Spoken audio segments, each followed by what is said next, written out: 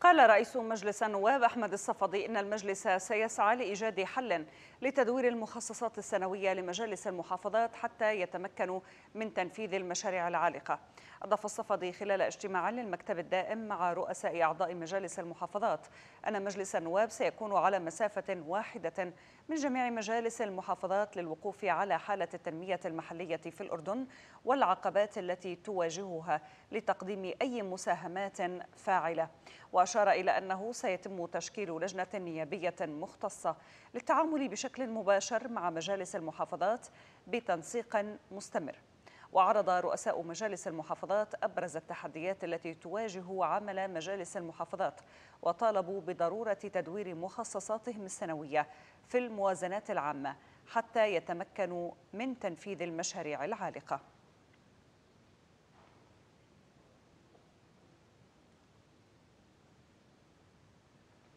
انضم إلينا رئيس مجلس النواب أحمد الصفدي. أهلا بك معنا ضيفا في أخبار السادسة. نبدأ معك من كيف وجدتم ملاحظات أعضاء مجالس المحافظات المتعلقة بموازناتهم؟ وماذا كان الرد على مطالبهم؟ يعني إحنا بداية جاءت هاي مبادرة من مجلس النواب. اجتمعنا اليوم مع رؤساء مجالس المحافظات ل 12 محافظة بحضور اللجان الدائمة في مجلس النواب والمكتب الدائم. يعني اجتمعنا من أجل مأسسة العلاقة بيننا وبين مجالس المحافظات. كلنا بنعرف العمل الرئيسي للنائب هو رقابي وتشريعي.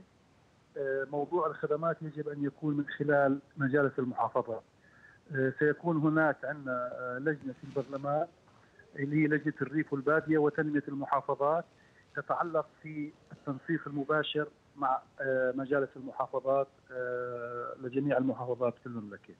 سيكون هناك زيارات مشتركة ما بين مجلس النواب وزيارة لجميع المحافظات في التنسيق مع مجالس المحافظات ونواب المحافظة اللي إحنا بدنا نزورها كمكتب دائم. طيب آه تفضلي. فيما يتعلق بالعمل على لجنة أو إنشاء لجنة نيابية مختصة للتعامل مع مجالس نعم. المحافظات وأعضاء أعضاء مجالس المحافظات، كيف ذلك نعم. سيعزز من عمل اللامركزيه وبماذا سيخدم مجالس المحافظات؟ يعني إحنا اليوم المجلس المحافظه يعني أنا برأيي من ست سنوات إحنا اقرينا في مجلس النواب قانون اللامركزيه اللي هو مجالس المحافظات المنتخبة من أجل تنمية المحافظات والقيام بدور الخدماتي نيابة ما يقوم فيه النائب من يخدم المحافظات ويترك الرقابة والتشريع. هذا الموضوع ولكن لغاية الآن لم يكن هناك تنسيق ما بين البرلمان ومجالس المحافظات. اليوم اجتماعنا راح يكون دوري كل بداية شهر. واللجنة المختصة في البرلمان راح تكون على تنسيق دائم مع مجالس المحافظات. من أجل المناطق يكون هناك عمل مشترك في جميع المحافظات المملكة. من أجل دعم القطاع الخاص في إنشاء مشاريع تنموية في المحافظات. هذا يعني اليوم لما ندعم إحنا القطاع الخاص ويتجه للمحافظات وبناء مشاريع بخفف من البطالة. اليوم عندنا نسبة التعليم عالية جدا في جميع المحافظات وما عاد الحكومة تستطيع أن تغطي كل خريجين المملكة بالجامعات من الطلاب الخريجين. القطاع الخاص يستطيع الاستيعاب هاي النسبة وبساعد الحكومة في هذا الموضوع. نعم. موضوع مجالس المحافظات هي فكرة نموذجية ولكن بحاجة لدعم من الحكومة ومن مجلس النواب. إحنا بدورنا كنواب سيكون من خلال كل الدعم المباشر لهذا لجميع المحافظات من خلال مجالس المحافظات المنتخبة. طيب يعني لا يخفى بأنه لا يوجد أي خلاف لربما بين مجلس النواب وبين مجالس المحافظات، بالعكس هناك أرضية مشتركة بين الطرفين. طبعا. لذلك كيف سيعزز مجلس النواب وهذه اللجنة النيابية من مسألة اللامركزية وتخطي هذه العقبات ومسألة البيروقراطية في اتخاذ الإجراءات، كان لمجالس المحافظات طلب واضح وصريح متعلق بتدوير المخصصات صحيح. المالية أو ترحيلها من مشروع إلى مشروع وهذا شبه مستحيل يعني في السابق هل هلا هذا الموضوع خلينا نحكي إحنا اليوم الدستور أعطى الحق الجهه الوحيده الرقابية الدولة هو مجلس النواب. نعم. اليوم مجلس المحافظة بنسق مع نواب المحافظة ومع مجلس النواب. إحنا اللي بنراقب الحكومة يعني اليوم ليش إحنا ليه شو اللي بيصير يعني خلينا نكون واضحين هل الموازنة بنقرها إحنا خلال 10 أيام إذا قررت خلال العشر أيام القادمة حتى تنصرف وتطرح العطاءات. بتصفي إحنا وصلنا شهر 11 12 الطبيعي يعني ما بكون في إنجاز أه أه تبقى الموازنة في المحافظه في مجالس المحافظات تقريبا أكثر من نص موجودة. الطبيعي إنها تتدور للسنة اللي وراها لأنه بصير عليهم دين. غالبية مجالس المحافظات عليهم دين اليوم. سببه تأخير الصرف. تأخير الصرف مش ذنب مجالس المحافظات. يعني الذنب يعود على الحكومة في هذا الموضوع. يجب تدويره للسنة التي تليها. وهذا الموضوع بالتنسيق مع مجلس النواب. اليوم لما يكون في مشروع بتنفذه الحكومة اللي بيراقب على أداء الحكومة مجلس النواب. بس نعم. المشاريع التنمويه بتطلع من مجالس المحافظات. يعني نعم. التعاون بده يكون إحنا والحكومة ومجالس المحافظات من أجل المشاريع التنموية في جميع محافظات المملكة. أشكر وجودك معنا رئيس مجلس النواب أحمد الصفدي شكرا لك. وللحديث ينضم إلينا رئيس مجلس محافظة البلقاء إبراهيم نايف العواملة. أهلا بك معنا سيد إبراهيم في السادسة. أبدأ معك من هذا الاجتماع مع رئيس مجلس النواب. إلى ماذا أفضى تحديدا وما هي أبرز التحديات التي ركزتم عليها كرؤساء مجالس محافظات؟ ستي أريج الله يعطيك العافية ومسي عليك وعلى مشاهدينك الكرام. إحنا اليوم كان في لنا لقاء مع رئيس مجلس النواب والساده رؤساء اللجان في مجلس النواب. وهذا اللقاء كان هو اللقاء الثالث خلال فترة أسبوعين.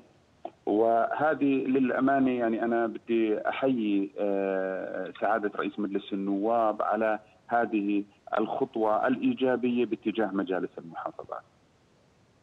بالنسبة بالنسبة للاشكاليات والمعيقات اللي تم طرحها في خلال هذا الاجتماع اليوم حكينا إحنا بأكثر من من هم لمجالس المحافظات ويمكن سعادة رئيس المجلس قبل شوي بالمداخلة كان بحكي فيها أيضا طالبنا بتعديل بعض التشريعات للاستقلال المالي المالي والإداري وحاجة المجالس للكوادر وعمل مناقلات بين القطاعات.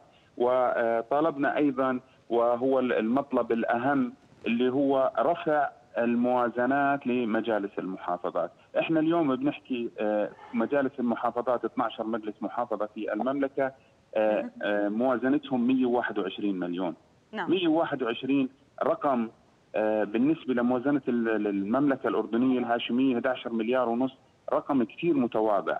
أنا يعني خليني أحكي يعني بتخصص أكثر في في مجلس كمحافظة البلقاء. كمحافظة البلقاء. بال 23 9.5 مليون. محافظة البلقاء مساحتها 1120 كيلو متر عدد سكانها 500 ألف نسمة ويزيد. 9.5 مليون آه والمشكلة نتمنى نتمنى أنه يتم تنفيذ مشاريعهم بالتسعة مليون ونص أو حتى تنفيذ النص. سيدتي العزيزة إحنا المشكلة اللي بنواجهها التأخير في طرح العطاءات من خلال الحكومة، أيضا نعم. طالبنا إحنا اليوم طالبنا بإنشاء لجنة عطاءات لا نعم. مركزية في كل محافظة لتسهيل طرح العطاءات بدل ما إحنا نلجأ للجنة العطاءات اللامركزيه اللي بعمان. نعم. يعني هذه اللجنة التي ستكون مطالبة بأن تكون موجودة في كل محافظة ستوفر عليكم مسألة وتحقيق طبعا مفهوم اللامركزي وعدم التوجه إلى مركز المملكة وهي العاصمة عمان. طيب هذا المطلب كيف وجدتم مقابلته من قبل مجلس النواب؟ وما هو متعلق بمسألة تشكيل لجنة نيابية للتواصل مع رؤساء مجالس المحافظات لتسهيل عملهم. هذا كيف سيسهل عليكم كمجالس محافظات التعامل ربما وتوصيل الأفكار إلى مجلس النواب عن طريق هذه اللجنة؟ أنا بالاجتماع السابق اللي اللي سبق هذا الاجتماع اليوم أنا طلبت من سعادة رئيس مجلس النواب بفكرة إنه يكون في لجنة دائمة تجمع مجلس النواب ومجالس المحافظات اليوم كان بداية حديث سعادة الرئيس بأنه إحنا موافقين وتم إقرار تشكيل هذه اللجنة وسترى النور قريبا. هذه اللجنة بالتأكيد راح يكون في تعاون مشترك وإيصال مشاكلنا واحتياجاتنا من خلال مجلس النواب إحنا يعني وهذا الموضوع أيضا تم مناقشته اليوم. إحنا كمجالس محافظات إحنا دورنا وكانت رؤية جلالة سيدنا بإنشاء مجالس فكرة إنشاء مجالس المحافظات اللي هو تخفيف الضغط العالي على مجالس النواب وتفريغه لدوره الرقابي والتشريعي. هذا لا يعفي مجلس النواب من من كونه يشارك بالخدمات من من خلال من خلال دعم مجالس المحافظات ورفع موازناتها والضغط على الحكومة بتسهيل الإجراءات في طرح العطاءات وتقديم الخدمات بشكل أكبر. أشكر وجودك معنا رئيس مجلس محافظة البلقاء إبراهيم نايف العواملة، شكرا لك.